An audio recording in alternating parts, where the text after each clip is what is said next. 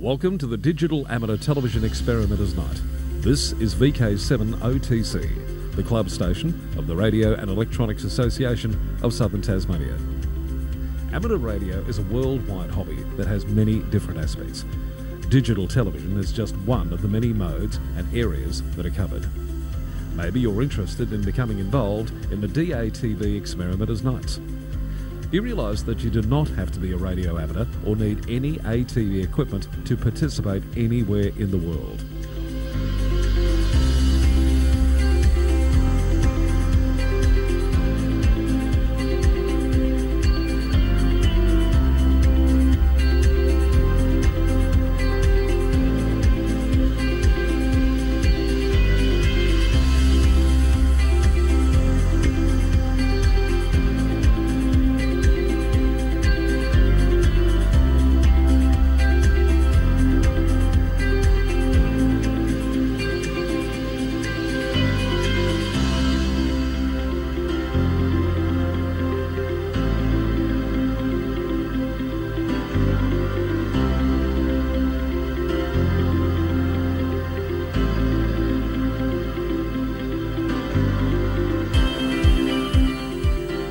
Also participate in the night by coming up to the Queen's Domain club rooms. Yes, right on top of the Queen's Domain in the heritage listed Coast Wireless Station.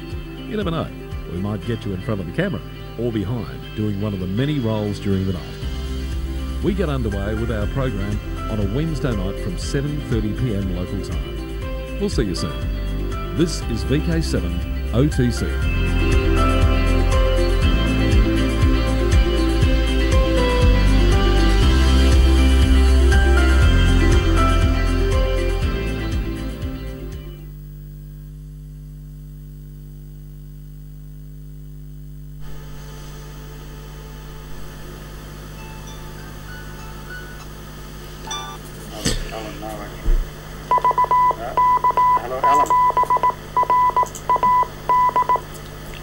This is um, VK7 uh, OTC, the uh, club station of the Radio and Electronics Association of Southern Tasmania, with our uh, digital amateur television experimenters night, uh, and we've got our, uh, I suppose you'd call this the April Fool's edition, although I'm not sure that we've got too many April Fool's jokes as part of this.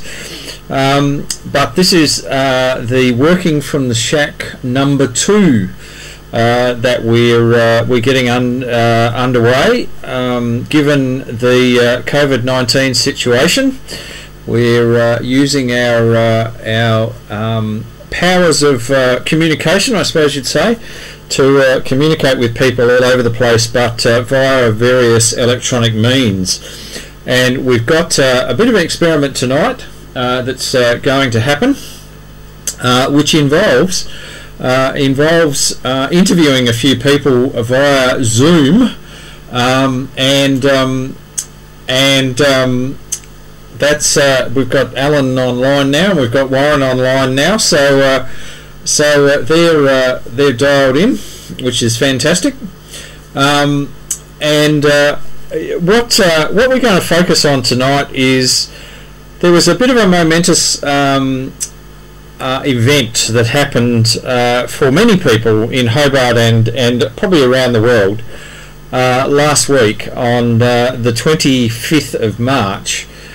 Um, the Aurora Australis, which is the Australian Antarctic Division's icebreaker, um, came back from its final voyage, uh, which was to Macquarie Island. Uh, came back into Hobart, and basically at the end of that voyage, uh, that was the final voyage of the Aurora after 31 years as the icebreaker for the um, for the Antarctic Division.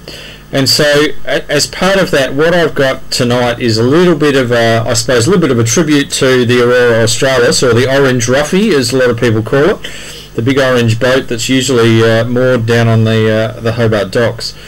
So, um, just to uh, just to probably set the scene, um, and I've got a few videos at the end of this um, that will show, which are um, wonderful Antarctic Australian Antarctic Division videos around um, um, the uh, the launching of it. There's a there's a couple of videos of, that include the launch of the uh, the Aurora back in 1989 in Newcastle. It was actually made in Australia. Um, and I, I, I did a little bit of research on here, and the launch was actually done by Hazel Hawke, would you believe, Bob Hawke's wife.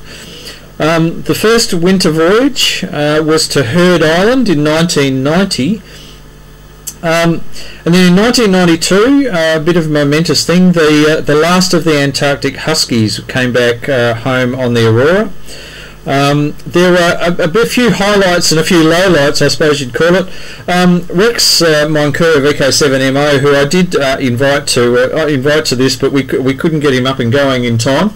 Uh, however, um, but uh, um, remembers the um, there was a, uh, a fairly momentous broken drive gear uh, event that happened.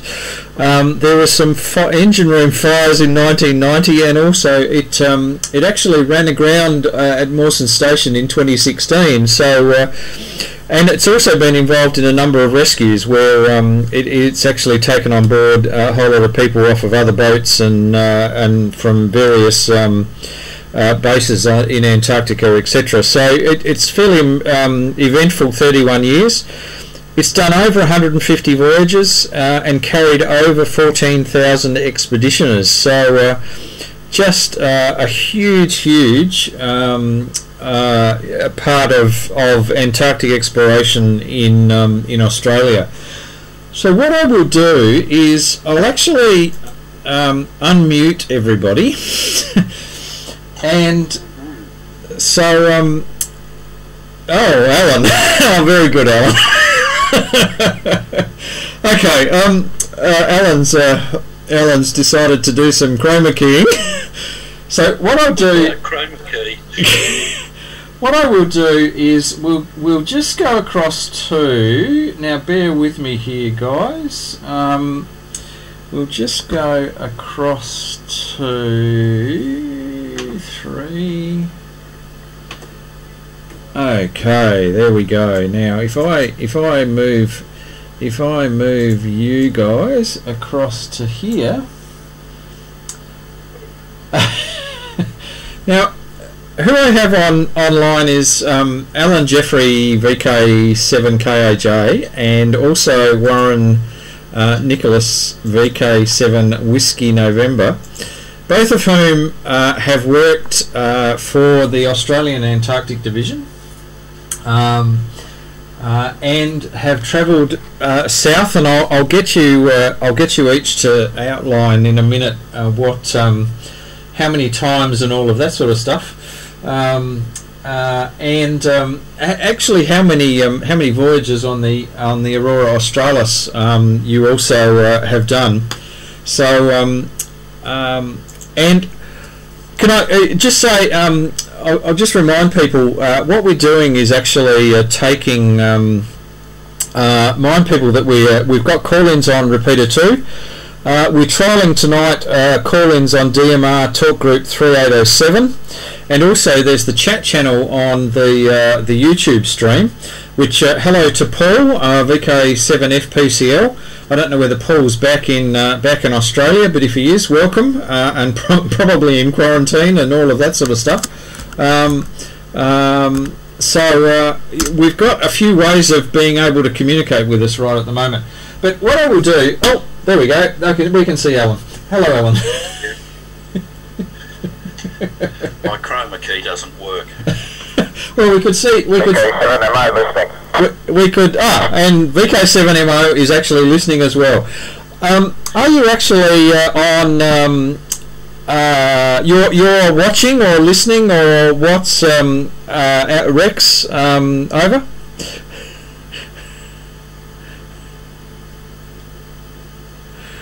No, we'll give him a call. Just hang on. VK7MO, VK7OTC.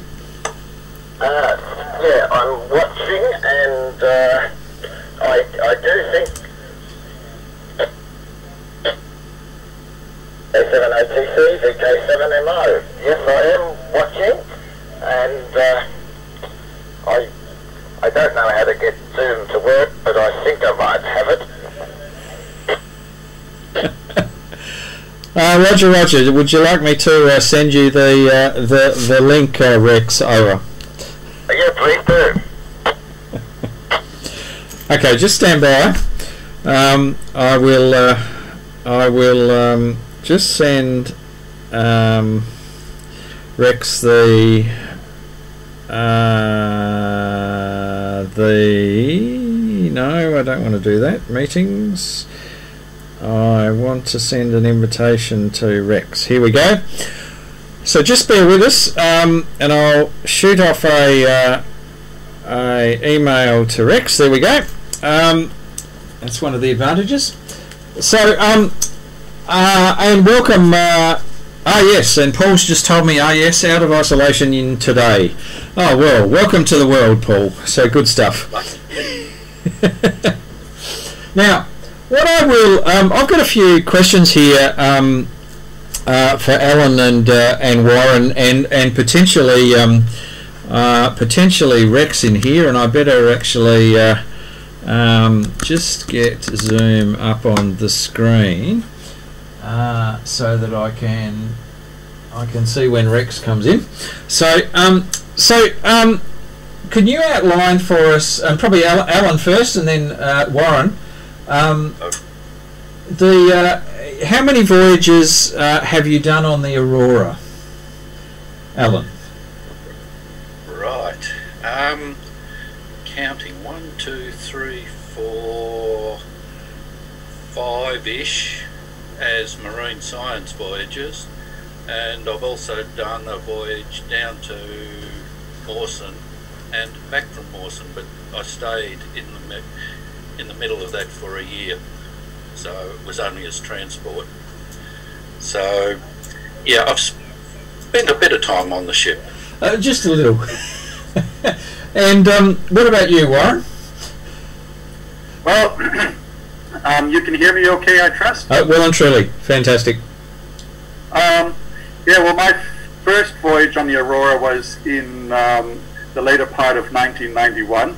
Um, and I'll just try and um, um, list them off the top of my head. So uh, it started off with a, a marine science voyage um, that went via Macquarie Island and um, to do an early resupply. Um, we had uh, equipment difficulties and had to return then from Macquarie Island back to Hobart for some repairs and then commence the actual uh, marine science voyage. So that was a CSIRO oceanographic voyage, uh, late 91. Um, that same season, I went to Davis, went down on the Aurora, came back on the Aurora. Um, the next year, uh, I went south on uh, a different vessel, the Icebird, as it was called then. Um, came back on the Aurora, though. That's possibly um, the voyage where um, Rex Moncur and I first met each other, but I'll let Rex um, tell that story. Um, um, 93 then I did an outright marine science voyage. It was a uh, biology one, uh, also via Heard, via Macquarie Island, and then a crossover to Heard Island. Um, severely bad weather, um, very rough seas. Uh, took us three weeks to get from Macquarie Island over to Heard Island, and uh, it went into the books as being particularly uh, rough. Um, um, that even the uh, the captain Russell Rustling um, entered uh, a few comments in the official ship's log um, to that effect. It was a long voyage, ten weeks, I think it was, um, so nearly three months, and um, that was '93. Um, next voyage was then uh, for the summer of 95 96, uh, left from Fremantle, um, and I might elaborate more on that. Um, coming home then very late um, of the uh, 95 96 summer. After that, I had no more um, Antarctic voyages uh, to go to stations. I did a few round trip ones then. Uh, the next one was um, I was uh, a trainee in voyage management. So, voyage management trainee, uh, abbreviated as VOMIT. Um, and then the following summer, I was deputy voyage leader. Um, on a very short voyage out of Fremantle. Um, this is where the Aurora had one of its two two fires, um, engine room fires. Um, so uh, uh, that was a very short one, and um, I think after that the only other voyage was then um, after going down to uh, her to Macquarie Island uh, in 2010. Um, I went down on the Astrolabe, came back on the Aurora, basically as comm support. So now I've lost count of that. Um, another interesting voyage in between, and that this would have been during um, um, uh, sort of the early winter of '95, I think. Um, P&O and the Antarctic Division did a, um, um, a day trip out of Hobart to test some gear and also as a special exercise allow uh, a, a, a, small number of um, staff with their families uh, to participate on that voyage. So uh, everybody interested uh, could throw their name in a hat. names were drawn and of those who were selected, they were allowed to bring, uh, I don't know, um, two or three extra relatives with them. And um, I had uh, volunteered to, um, to do uh, uh voyage management, if you like. In other words, uh, just help out with um, any um, staging area activities and stuff like that. Okay. And um, I was then given a ticket for the goodwill. So uh, I was nominated. Lo and behold, voyage management voyage deputy, no, voyage leader for the day. Yes, that was my official title. Oh, very impressive. Wow, very impressive. And uh, my mother went on that trip. I think my wife and perhaps her mother as well, um, something like that. So there we go. Um, if anybody counted, uh, there you have it. Fantastic. Thank you, Warren. So, um, should... yep, uh, Alan. Yeah, I didn't realise how much detail you wanted there.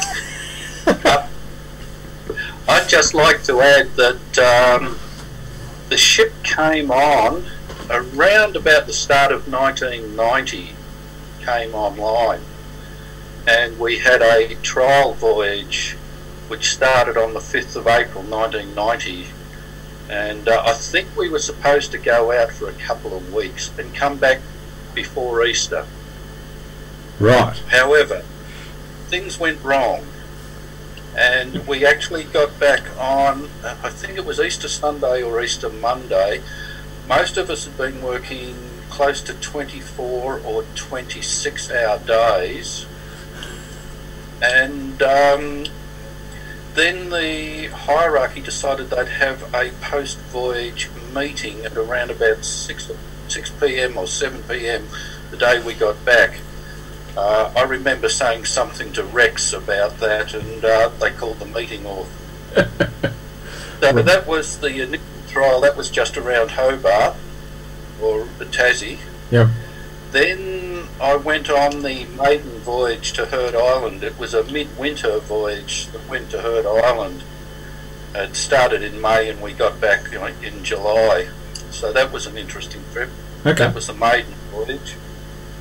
Um, then there was another marine science voyage. the other one Warren talked about, where we went to Macquarie Island and the winch broke, that was called WOCE, WOCE 91, which officially stood for World Ocean Circulation Experiment 1991, but it was later renamed to Worst Ocean Cruise Ever. and most of our marine science voyages had um, catchy sort of names like HIMS, that was Heard Island Marine Science, FISHOG, Fish and Oceanography, but in general we all also came up with alternatives which generally said what we thought of these voyages. but, uh, yeah, that one we actually took the ship off charter, I think, at Macquarie Island and brought it back, and they had to fix the winch. They flew out a new winch from Denmark, I think, and people to install it as we came up the Derwent, they were cutting holes in the side of the ship and the deck so that they could get the winch in and out of the appropriate place. Things didn't always go according to plan, but um, yeah, it was fun. So I only sailed on it in the first two years we had it, and in that first two years we had it, I was on it for 260 days, which, if you think about it, is close to three quarters of a year in uh, the first bit less than two years we had it. Oh well and then I truly. didn't go again until I wintered. So there. So, so Alan, that, that's a good segue into what's what's your favourite memory of uh, of the Aurora Australis? I'm not an employee anymore. um, in the early days, it was really good because we went as special crew, and we basically did whatever we needed. And if we needed to run a winch or deploy something, we used to do it. Later on, as it got tighter and tighter as to having pieces of paper to do things, we weren't allowed to do much at all. The crew had to do everything, which meant if we wanted to deploy something, oh, Rex is connecting. Um, we had to go and find an officer and a sea, able seaman or ordinary rating to uh, do what we had been doing in the past. Um, lots of other interesting things. Uh, parties in the captain's cabin were particularly good. Uh, the food was excellent most of the time. Um, and yeah, just it was good. It was good fun. Okay. I enjoyed it. And Warren, what's your uh, your favourite uh, memory? Well, I have to I have to uh, um, um, take it from from uh, take on from Alan there. Um, uh, we had some very good times uh, on on the ship in the earlier years when um, OHS was um, uh, not fully developed yet. Uh, we had some massive parties down in the bar, which is which was on sort of like the lowest deck of the ship. I never went Um, to the bar. yeah, right. and um, yeah, they uh, uh, yeah, you, you didn't need to drink much uh, with the rough sea conditions. Um, uh, the two of them really made for a lot of fun, especially when dancing and being sort of, um, I guess, um, thrown from one side of the dance floor to the other side. um, yeah, so I think um, yeah, I think in, in hindsight, uh, a little bit of limitation on um, on, on alcohol probably uh, was was very wise. Um, I also Alan, Alan mentioned uh, the good food, um, and the Aurora always had good food. When I uh, when I uh, joined the Antarctic Division, I was a skinny as Joey, uh, just caring. Uh, then I started going on the Aurora Australis, and um, I couldn't believe my luck. It was free food as much as you like, and um, and it was great. It was good food. The chefs were were amazing, and um, yes, I've, I uh, certainly then uh, within a few years um, um, uh, ballooned a bit due to the Aurora. I'd like to claim. Um, Right. one of, one of my uh, one, one of my also sort of um, favorite or intriguing memories um, um, on on that Rose voyage that Alan also mentioned. This is the uh, the Winchbuster voyage or the one following that. So um, it was an oceanographic voyage. Um, it was kind of still early-ish in the summer season, so there was still a lot of sea ice. And the idea was to do a transect from Hobart down to the ice edge and back. So uh, that was my first experience. I didn't get to see Antarctica as such, but I saw the ice edge and icebergs and so on. Um, and it was just um, just phenomenal. And and and that's it, it, Warren. That's Also a relief when um, yeah when we got out of the rough seas and, and got into the uh, into the icy area where it was a lot calmer.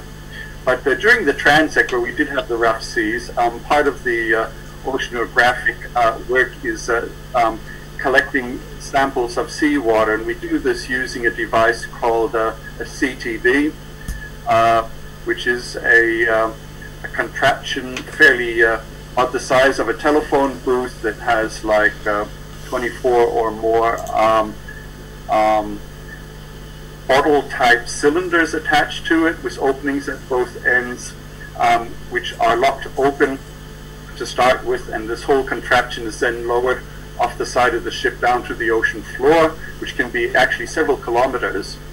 And then as it comes up, um, you, you uh, trigger the bottle so that uh, the openings on the top and bottom of the cylinders um, snap shut uh, and uh, and collect the seawater at that particular uh, level. And so you can get, um, I think, uh, a selection of 24 um, samples um, throughout the cast, um, profiling the the depth there, the column of the water. So, anyways, um, you'd be on station. This thing would be lowered into station as in um, a fixed location at sea. You'd lower this thing into the water and you'd be uh, put there at that spot for hours on end until it reached the bottom and came back up again.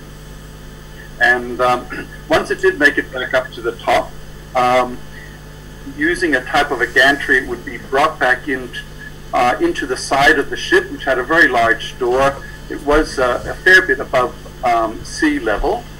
Um, so uh, it would come in through the opening and then be lowered onto the deck floor inside this tiny room.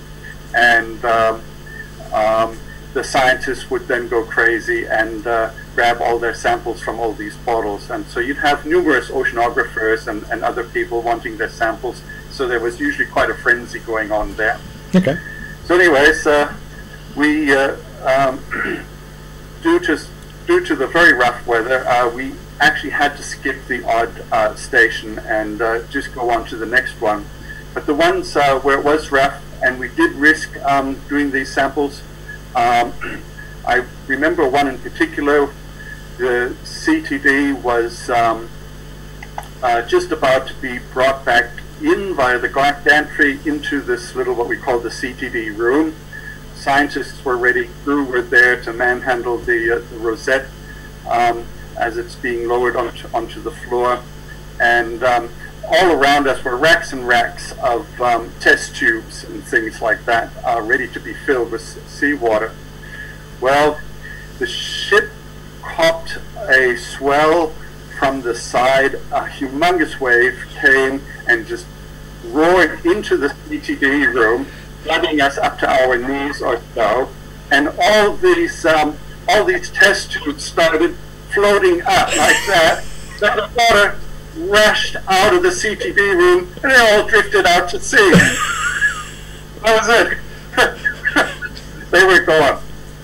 Um, Oh dear. that was quite a that was quite a frightening experience actually and um, so following that um, uh, new regulations came in that only a minimum of necessary people would be in that room until um, the side hatch could be closed and it was safe to do work in there and then uh, all the bottoms would be allowed in there but just just clinging on for life and watching all these test tubes floating away out into the open sea was was a sight I'll never forget I have a feeling I was asleep while that happened.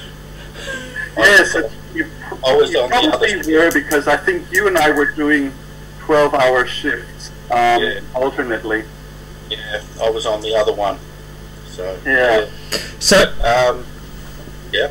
so I, mi- I might see whether Rex, because we've got Rex online here. I think he's audio only. Um, Rex, are you? Uh, can you hear us? He comes up as muted on my thing. Oh, Rex, you're muted. You might have to unmute yourself. Okay, I've just unmuted you. Still shows muted on my screen. Ah, okay. Yeah. There is, um, I recall on my screen you had to look at the bottom left corner and there was a camera and a microphone to click on to uh, start each of them. Ah, okay. We g- got something there, Rex. Uh, would it be better if I just spoke to you on two metres? I Uh, well, that's that's the way. You, you you're very distorted, Rex. Your your microphone level's very very very high. I don't know whether you can back it off a little bit. I don't think I know how to do that. Oh no, that's I'll better. try two metres. No, that's better. That's better.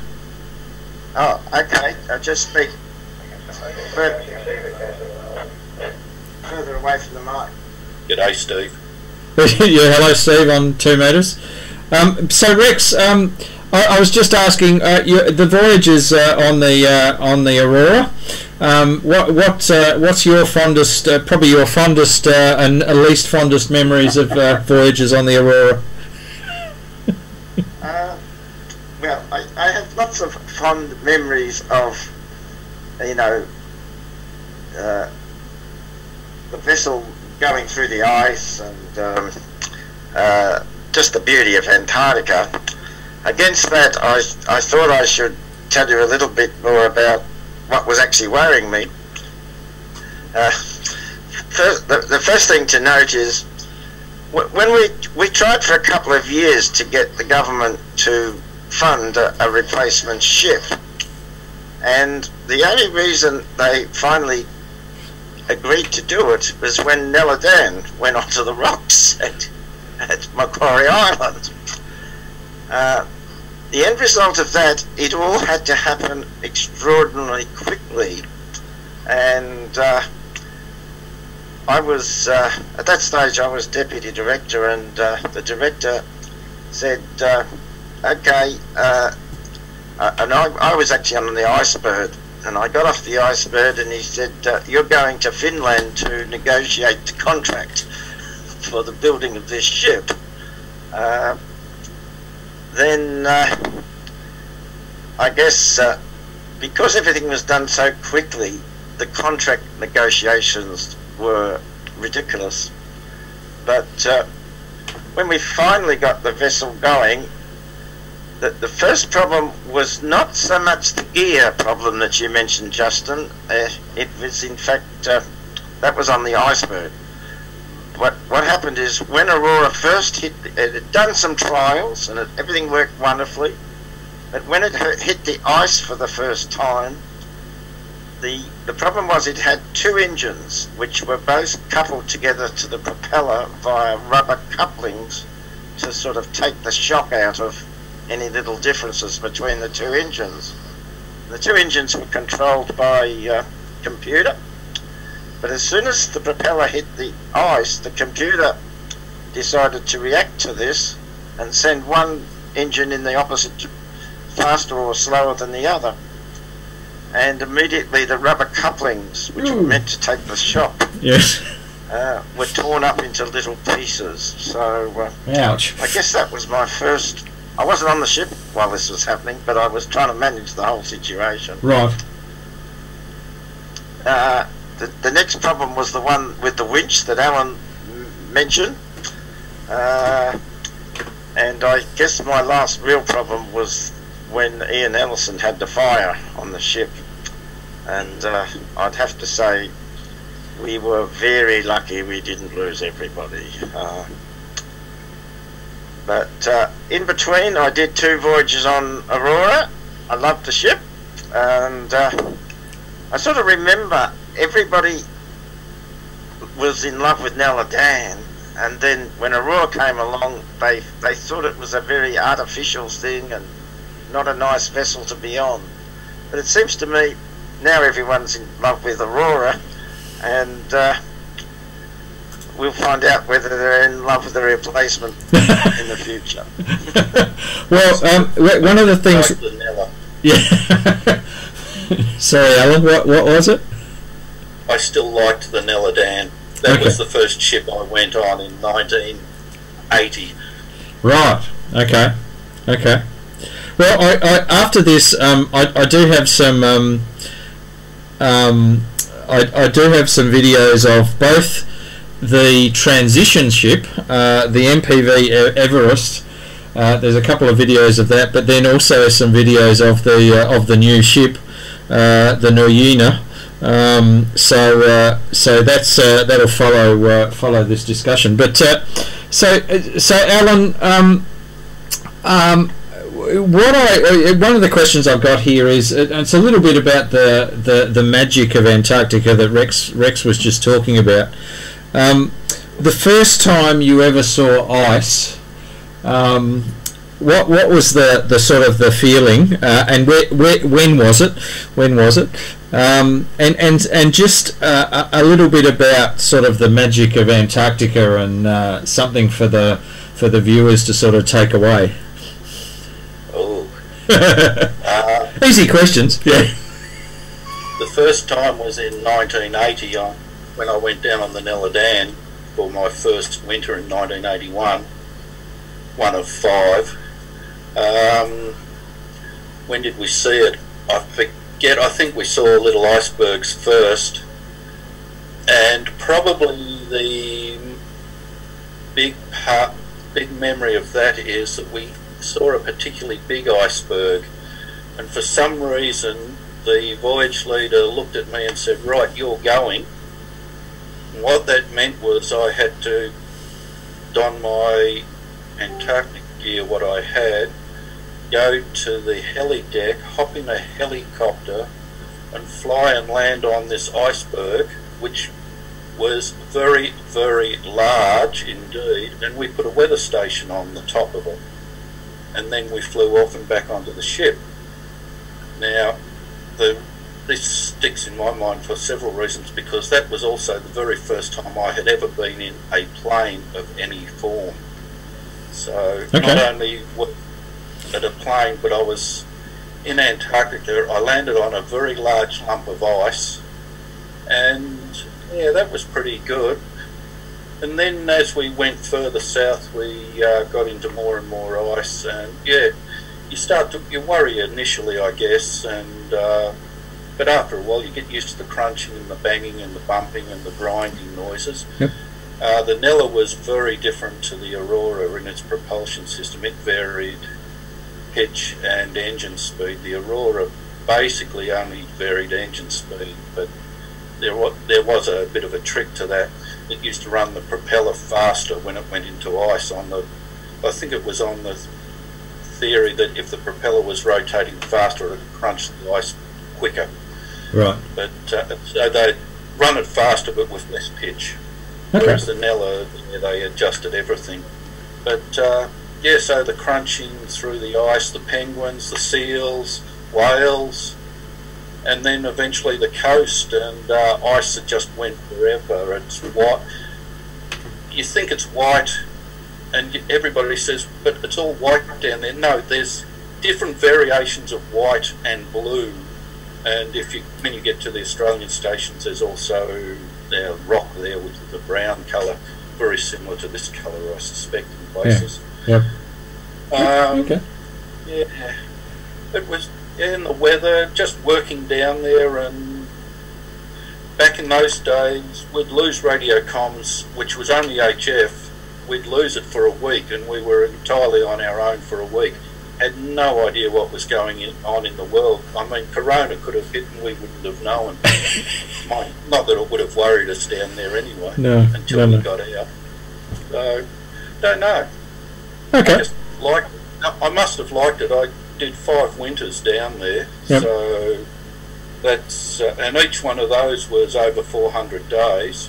The Wow. longest being 90 days, um, and then the five marine science voyages. So Cool. And it was good. okay, thank you, Alan. What about uh, you, Warren? Yeah. Um, so, uh, um, I guess, uh, what was the question again? The, uh, The, the first time you saw ice, um, and and then the magic of Antarctica. Well, yes, the, the first time I saw ice, um, I remember, so that was on that, uh, the Rose voyage, um, where we were going to the ice edge, and um, well before we got to the ice edge, uh, the first first iceberg appeared on the horizon. And it was just a tiny white dot on the horizon. And uh, for a lot of us, um, because this was uh, um, a science voyage with a lot of CSIRO scientists. Um, um, not many of them had been down south, so uh, uh, this was the very first iceberg for many of us on board, and hence um, huge excitement all around. and um, I remember coming, I was I think I wanted to grab my camera. I was up on the bridge, saw that iceberg. You know, it was just a speck on the distance, and so I was uh, racing down the stairway to get to my cabin to grab the camera, and I passed one of the um, one of the uh, uh, deckhands, um, Paddy, as uh, as Alan would remember, and uh, I said, "Oh, there's an iceberg! There's an iceberg!" And this guy, he just looked at me with a long face, and he just sort of says, "Yeah, yeah, there's going to be plenty more of them. You know, don't worry about it." And it was such an anticlimax. I thought, "Oh gosh." Love it. so, anyways, um, I think um, we we pursued on icebergs uh, became more frequent and larger, and uh, binoculars came out. We were we were uh, having a look at these icebergs. I, we, we managed to get off the uh, planned uh, um, um, transect as well to uh, Yeah. to view some of them a little bit slower. Once we got then in, into the sea ice, um, it's interesting to see how uh, uh, you first encounter a lot of ice flows, and then um, you find um, freshly frozen ice, which isn't really that solid yet. It kind of goes through a greasy phase, um, and all these different stages of uh, fresh sea ice until you get into the thicker stuff where you start grinding your way into it.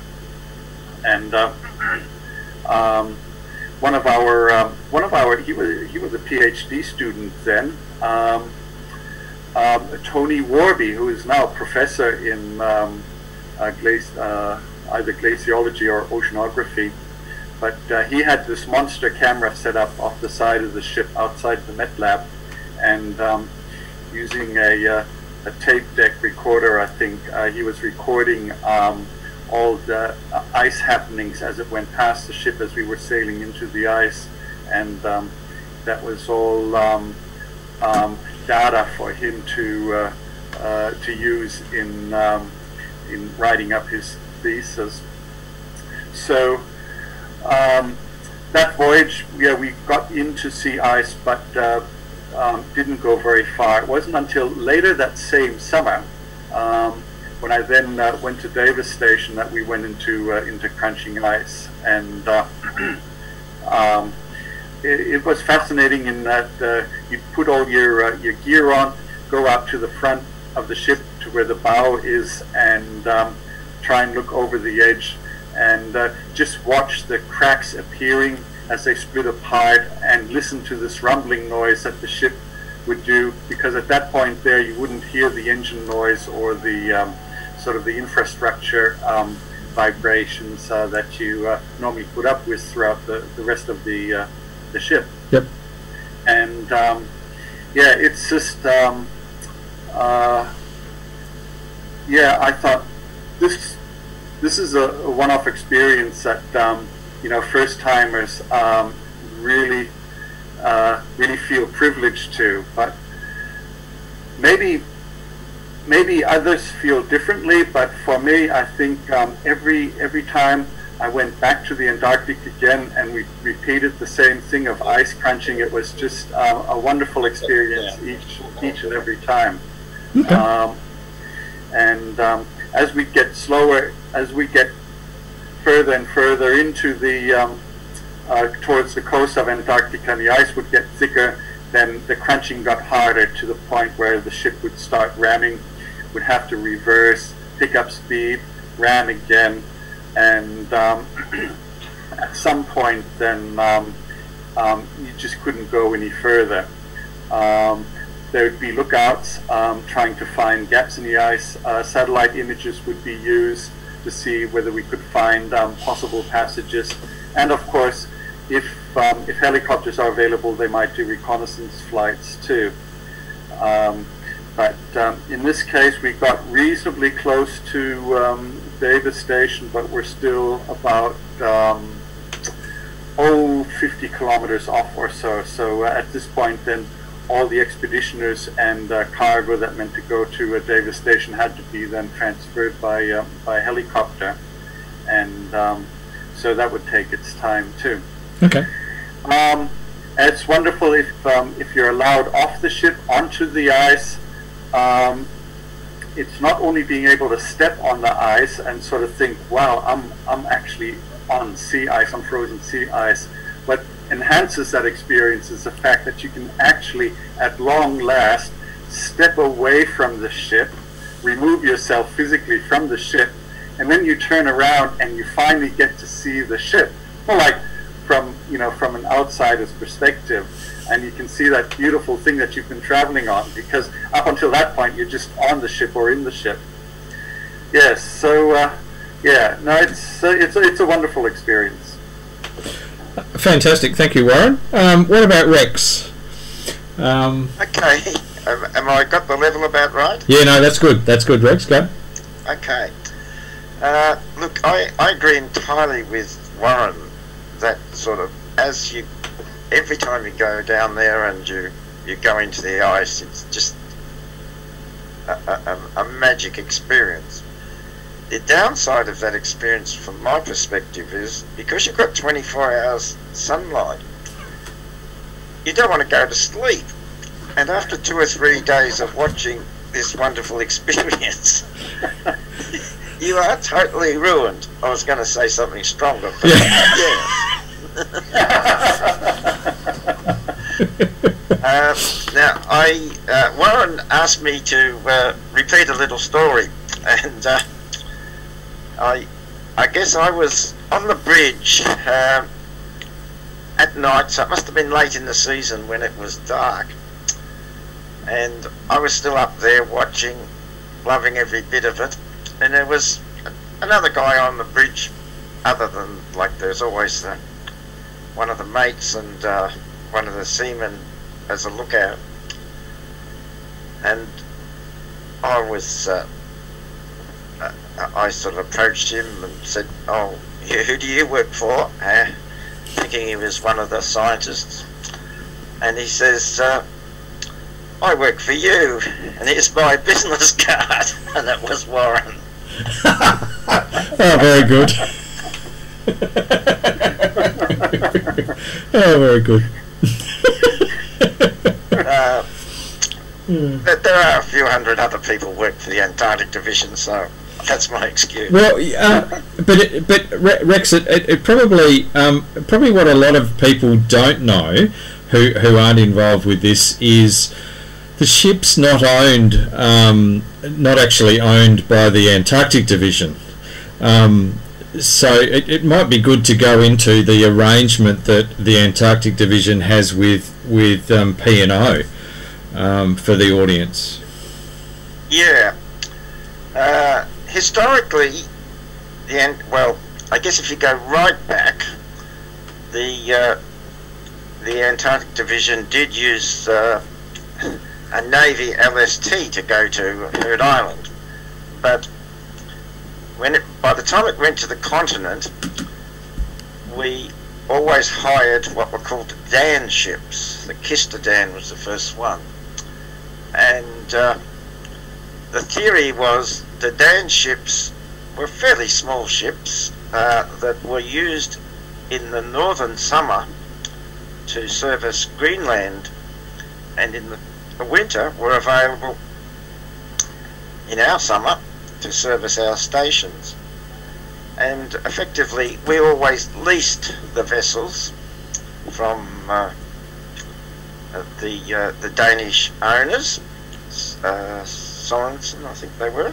No, that's Arnie Sorensen. I'm getting mixed up with the captain. Lauritzen, Pardon? Oh, Lauritzen. Yeah, yes, that's right. JL. Yeah. Uh, when it came to uh, the uh, uh, Aurora Australis, uh, we, we had a, a small team whose job was to put together a specification that would combine all our requirements as best as we could uh, justify. So it was a dedicated marine uh, science ship, as well as a cargo ship and a passenger carrying ship and an icebreaker. And to do all these things efficiently meant it was no good for using at any other time of the season for, uh, you know, doing anything up north. Uh, and uh, so we had a contract with P&O, and the basic reason for doing that is there's an enormous range of skills that a company like P&O has to run a ship, organise captains and crews and maintenance and insurance and uh, ice insurance and uh, and uh, we just didn't have that capability in the division. So uh, I think it's always been the right thing to just lease the ve- vessel, yep. admittedly a vessel that met our requirements. Yep. Or the, the word in in in the sea terms is charter the vessel. Mm, okay. Uh, and uh, so P&O owned the vessel uh, we chartered it from them, and uh, as I understand it, the P&O came to the conclusion finally that after 31 years, in order to keep it uh, up to the seaworthy regulations, it was going to cost too much to continue to use it. Yep. Uh, particularly as the Antarctic Division had uh, gone out and uh, sought the charter of another vessel, the new one. Mm. Uh, now, there's going to be a little gap there because the new one's not actually coming on time.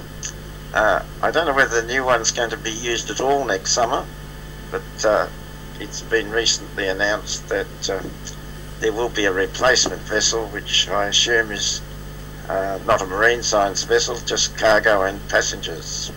Yeah, um, and I, I, I, have a couple of videos of that um, uh, after, at the end of this, um, which came off the uh, the interwebs, um, which show it to be a, a, a, what looked like a very uh, general purpose ship. And I have to say, one that doesn't appear to have too much cargo carrying capacity, which is a bit interesting. But maybe it's got more that is, is hidden. But uh, anyway. Um, certainly, in, in comparison, Rex, to the, the new one, which is what 160 meters long and um, is is huge uh, in uh, in comparison. So, hmm, anyway. Yeah, I must admit, uh, uh fill-in vessels. I don't know whether Warren or Alan remember the Lady Franklin, but oh, yes. we needed. we did need a, a fill-in vessel at one stage, and basically the the way the Lady Franklin worked is uh, it had uh, shipping containers below deck, the sort of things that were fitted out for mine workers, and the uh, the uh, expeditioners had to go down into the hold into a, a shipping container. Uh, so not salubrious, but sounds like Alan had that experience. Over to Alan. No, I didn't. I didn't sail on it, but it was like a little city of sea containers down in the holds. Uh, there was accommodate, well, sleeping quarters. There was rec, uh, containers, yeah, containers for sleeping, containers for recreation, containers for cooking and other things. And it was just like a little city in this hold. It was a very interesting ship, crewed by some very interesting people from Newfoundland in Canada. Newfie, okay. Uh, it had a back door that used to open up. I think they used to use it in Canada, and it didn't work by this time. They used to just back it up and wait for the tide to go out, and then they'd lower the uh, stern door yep. and just drive vehicles on and off like a roll on, roll off. Okay. But it was very, very in need of maintenance, I think, read Rust. I don't think it would have worked. Um, yeah, I think we only had that for a short time. We've had quite a few ships over the years the, as fill-ins, but uh, yeah. This, as Rex said, the Aurora did a lot of things. It was marine science, it was cargo, it was passenger. So it did a lot of things. It didn't do any of them particularly badly. It just sort of did. It was more like a Holden Kingswood rather than, say, a Ferrari or a uh, Mack truck or something like that. It would do most things. Was it wasn't designed by a committee? Um. I don't know. It was just short of hundred metres long. Yep. Uh, I'm just running a few numbers there. It was just short of 100 metres long. The two engines that you mentioned, somebody mentioned earlier, um, one was a V6, uh, V12 and one was a V16. It usually ran on the V12 and it'd do about 12 to 13 knots on that.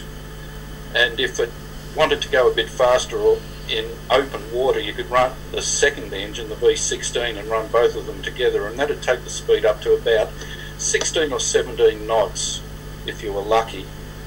Uh, it was mainly the big engine and running them both together was mainly for crunching through ice. Okay. But uh, the interesting thing with the little engine running, the trawl deck, it was a trawler as well, by the way, so it was Hmm. fitted out with nets for fishing, trawl, trawler. Um, there was quite a big drop from the trawl deck into the water when it was running on the little engine. But when they started up the second engine and ran both of them to try and get 17 knots, the uh, back of the trawl deck was actually underwater, and that's quite a few feet. It was probably 10, 12 feet lower at the back with all the engines running. Uh, the Okay. Warren was talking about dropping things into the ocean. The we used to drop down to about four, four and a half thousand meters, and the CTD used to go down at a meter a second. Whoa. So you can Yeah. Okay. work out how long that took, four and a half thousand seconds to get to the bottom. Yeah. But it used to come up a bit faster at about two metres a second. We'd often have a camera attached to the CTD, and when it got to the bottom, the camera had a weight on a string and a uh, depth sounder calibrated in feet, and we'd just get it down to about whatever the length of the string was, and then we'd bounce the thing up and down to take a picture. Okay. And if you think about it, we're moving this thing that's down four and a half thousand metres or four thousand metres a couple of feet up and down to trigger the shutter. And how high is Mount Wellington? Yeah. That's about a what a quarter of that. Yeah, this piece of wire off the side of the ship down to the ocean floor is over three times Hmm. the height of Mount Wellington. There you go. Yeah, that was fun. And trawl deck, we caught fish. Um, we caught an awful lot of orange roughy once. Right. Off the east coast of Tassie. I don't think they want to talk about that too much. it was a mistake. We saw we saw the grass going. Oh, we had a sonar on the net, and we saw all this grass on the trace. It just looks like grass or noise on the opening into the yeah on the screen. And uh, we tried to pull it up quickly. I wasn't on it actually, and uh, yeah, when they got it up, they hadn't pulled it up quite quick enough, and they had something like three quarters of a ton of orange roughy or something. This was back in those days. Right. Ice, we got ice fish around Heard Island. Um, a lot of rocks when we were bottom trawling. Excellent. Good geology. Yep. Yeah, Um, did lots of things. so, Found deep coral too. You- get coral Yep. down at uh, a couple of thousand metres, Hmm. which yeah, interesting deep sea stuff. fantastic. Um, so, so as a as a sort of a closing question, and I'll, I'll start with you, Alan. Um, are you sad to see her go? Uh, I don't know that I really want to answer this. I could have a problem. Oh, okay. when it when it went out on its last voyage and it went down past here Yep. at Blackman's Bay, it pulled into the bay, and uh, yeah, I felt it. Yeah. Okay. I still I still do. Okay. And Warren. It affect, it affected me. Yep. Okay. Warren, what about you? Well, I have I have um, all my memories with the uh, Aurora are very fond memories, um, and um, maybe perhaps uh, we do this again, and uh, we, we we can um, um, let a few more stories loose. But uh, yeah, as much as I enjoy traveling on the Aurora, I have to say I, I don't feel that attached to her. And even though I'm not connected with the uh, Antarctic Division or the Antarctic Program anymore, somehow I feel quite excited about the new vessel that we are going to get one day eventually. so I've been following its progress uh, in, in, um, in, the meantime. So, uh, and I do hope once we do have it here in Hobart that um, at least uh, there'll be an opportunity to tour the ship mm. somehow. Well and truly. But um, yeah, no, I think um, I think the Aurora has has served us well, but um, um, I know how hard she's also worked, and I think her time has come. And um, even though a lot of people are calling for her to be repurposed or to be bought for um, alternative uses, it, I don't think it'll be uh, feasible as um, a, a, lot of money will need to be continuously uh, um, spent to uh, to keep her um, yeah, seaworthy. Yeah, but um, yeah, no, it's um, I'll always reflect fondly on, on, on the Aurora Australis. Mm. There, there's even um, there was even a call I heard for it to become a museum, an Antarctic museum, which I, I thought was an interesting idea. But uh, yeah, a, a, lot of uh, a lot of work and a lot of upkeep, um, uh, well and truly. Now, what about what about you, Rex? What's what's your uh, yeah your uh, thoughts? Um, I, I can't say I've got that nostalgia feel for it. Uh, partly, I think while I was so heavily involved in it for the first 10 years of its life, I've been out of the system for, for the last 20 years. Uh, but uh, it's still, I guess, something that I talk to my grandchildren about, and uh, I enjoy uh, explaining things about Antarctica to them, and they think I did something useful. Uh, None of the expeditioners do, of course, particularly Alan.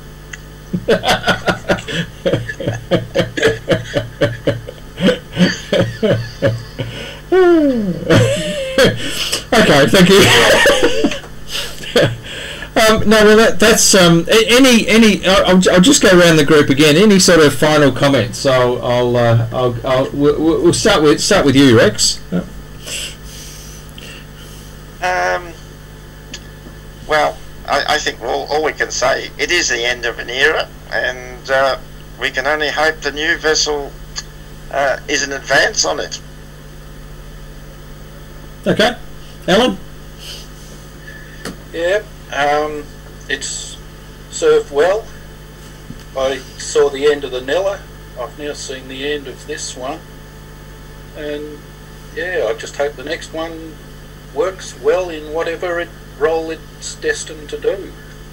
Fantastic. What about you, Warren? Yeah, well, for me, it was a, a dream come true uh, uh, to uh, uh um, sail at sea, and um, um, it was something that I had a strong desire for um, well, well before I uh, anticipated um, working, moving, and working in in um, in Tasmania. I had always wondered what uh, life at sea would be like, and um, yeah, living and working on a ship for weeks on end at sea was was truly, uh, uh, for me, actually a wonderful experience, even when it did have its hard times. And um, yeah, I think uh, I am very thankful to the Aurora for uh, providing me that kind of enrichment in life, if you like. Okay, fantastic. Good stuff. Good stuff. Well, um, thank you to our contributors, which is uh, uh, Warren, VK7 Whiskey November, uh, Alan, VK7 KAJ, and also uh, Rex, VK7 Mike Oscar. Uh, for uh, for putting putting their thoughts forward on the the Aurora Australis, which which did its last voyage on um, and, well came back into Hobart on the 25th of March, so uh, not uh, about a week ago. So, and unfortunately, there was there was a whole lot of. Um, um, I read on the the Antarctic Division uh, website today there was a whole lot of farewell celebrations that were all planned, and because of um, COVID nineteen, they all had to be shelved. So. Um, I don't know whether they're going to try and uh, do them a little bit later when things uh, when things stabilise. But uh, uh, yeah, it's um, I hope I hope they do, um, and uh, um, the uh, the the MPV Everest uh, appears in Hobart at some point, um, uh, and uh, yeah, and eventually the new ship, and the new ship um, will will be, um, I suspect, will tower over over the Aurora and moored at um, at uh, PW1. So uh, um, we look forward to uh, when that happens. So uh, thank you very much, guys. Um, um, I, I have a few things. Uh, one of which one of which Rex will be interested in. Um, to uh, to finish okay. finish off with. So uh, I, don't, I, don't, know whether you want to stay on uh, stay online and uh, we'll uh, we'll uh, we'll do the last little bit and then we'll we'll close for the night. You're quite welcome to quite welcome to to stay. So what I might do is now. ah, there we go. Okay. So um, that's um, that's that's our uh, uh, our little uh, mini tribute to uh, to the Aurora Australis um, um, for for tonight. So I hope you've enjoyed that.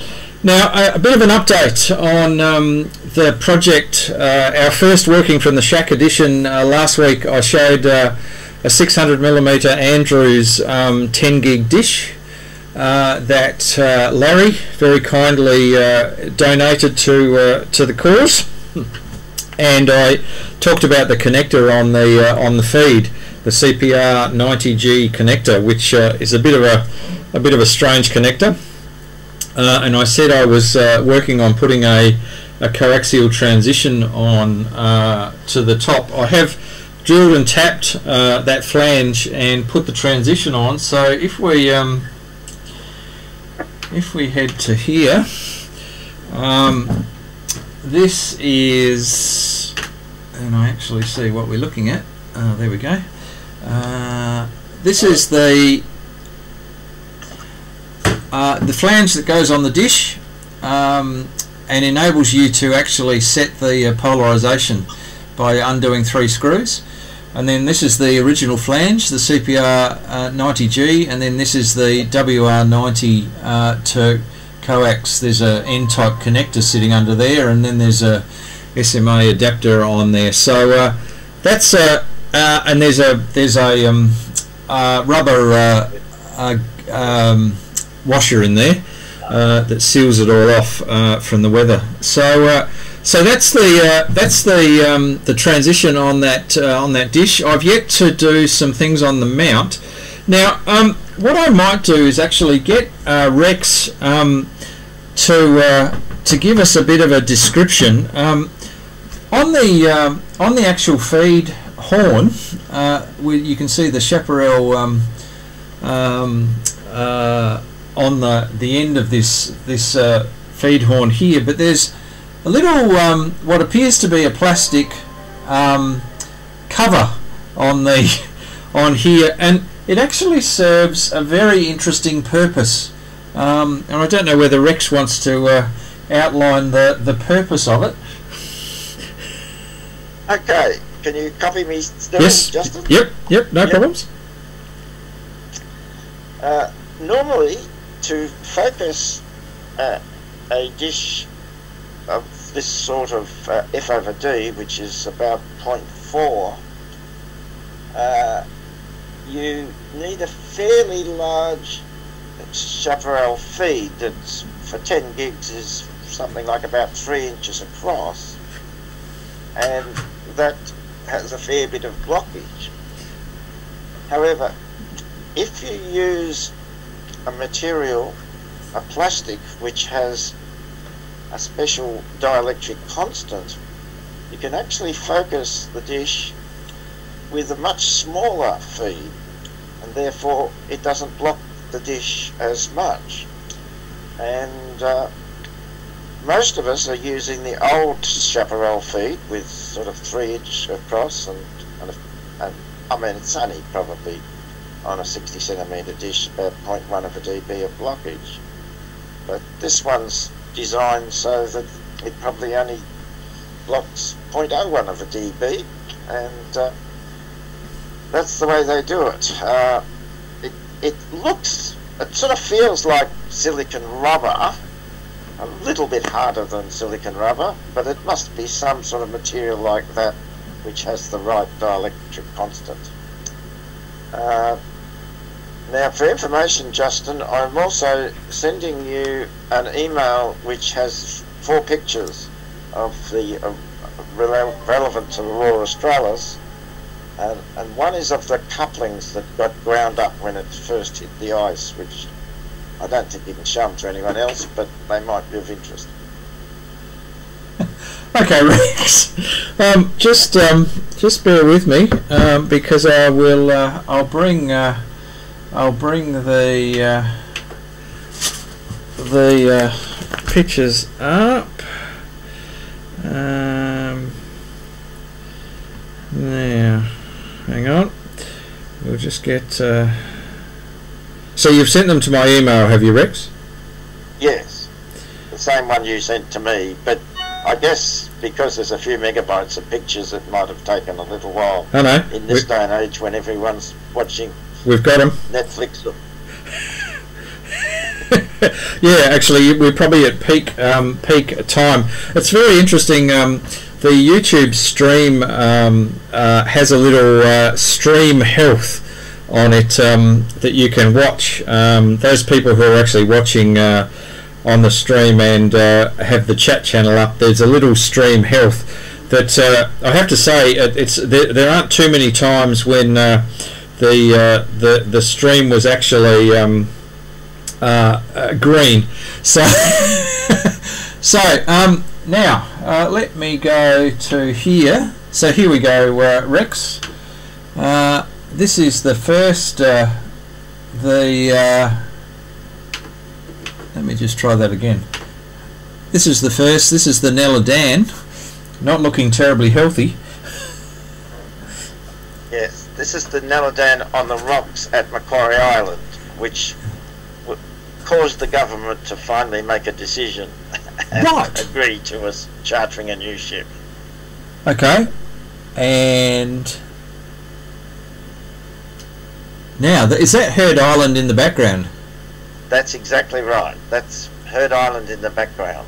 So that's um, what is it? Big Big Big Ben? No, what's the? Big Big Ben, which is actually Australia's highest mountain. Yes, yes, yes. Um, we haven't actually um, added that one to the uh, the SOTA uh, list, but we've been talking about it. Oh, yes. Can I say something to that photo? yes, yeah, yeah, go.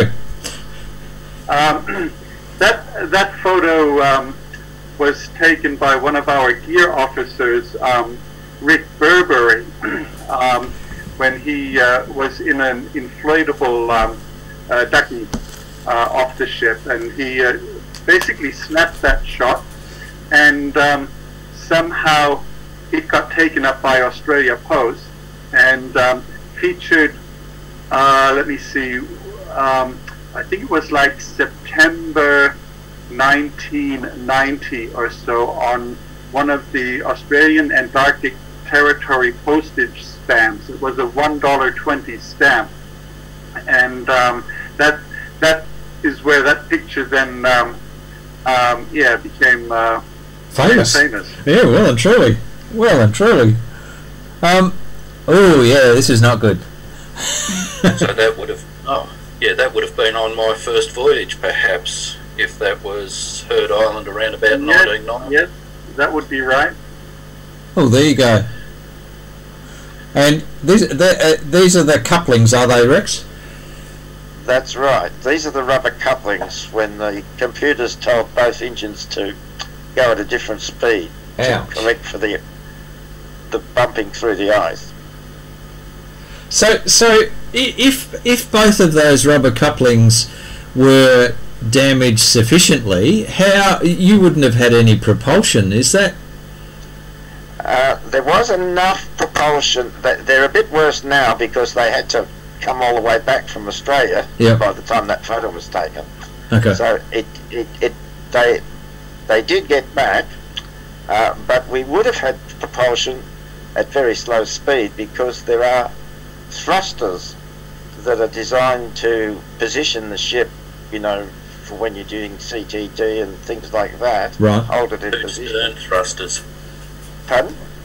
two steerable stern thrusters. Yeah, an interesting story about that is Yeah. uh, I was being asked about this at Senate estimates uh, about whether the ship could come back if it's in trouble, and and I said, oh yes, we we can bring it back at about two knots using the stern thrusters. Oh, no, no, I actually called them rotatable thrusters because you can rotate them in any direction. And a lady senator thought I was saying something rude.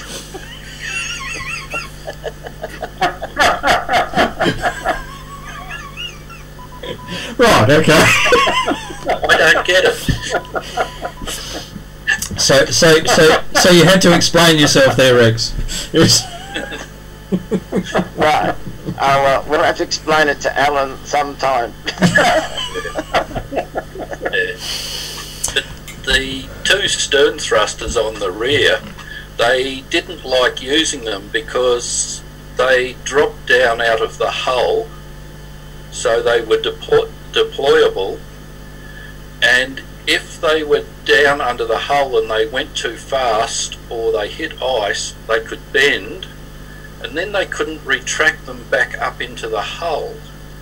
And this would cause a problem if they wanted to go fast because it would be the drag there which would cause more damage or if they were in ice it would cause more trouble. And of course having a hole in a hull that isn't sealed isn't particularly wonderful a lot of the time. So at one stage they actually did bend it while they were off the coast at Mawson when I was down there that must have been 1997 and they brought one of the shafts in and got the diesos down there to straighten this shaft so they could put it back in and retract the thruster. Uh, they had a similar one for a steerable sonar up uh, sonar, yeah, I guess so, up the front. And if they dropped that down, they were always worried whether or not they'd be able to retract it because being up the front on an icebreaker, something extending out of the hull is a bit of a liability. Mm, So okay. yeah, there were a few interesting things. Okay. Um, and the last one here, Rex. Uh, that was just the winch cable. You you might have heard Alan talk about the fact that that cable has to go down four kilometres, and uh, the the problem was uh, when that winch uh, didn't wind up properly and failed.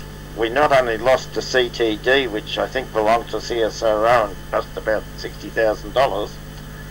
Uh, we had to negotiate whose fault it was and put the ship off hire and of course you know for a ship that was costing uh, I think in those days about $80,000 a day uh, these are interesting negotiations Hmm. Delicate negotiations. I, Yes, that was about a dollar a second, I think, it cost us. yeah it, I think it was quite a lot of dollars a minute because occasionally the termination on that cable, the electrical termination had failed. That's what we were basically there for, was to re-terminate this thing when it failed.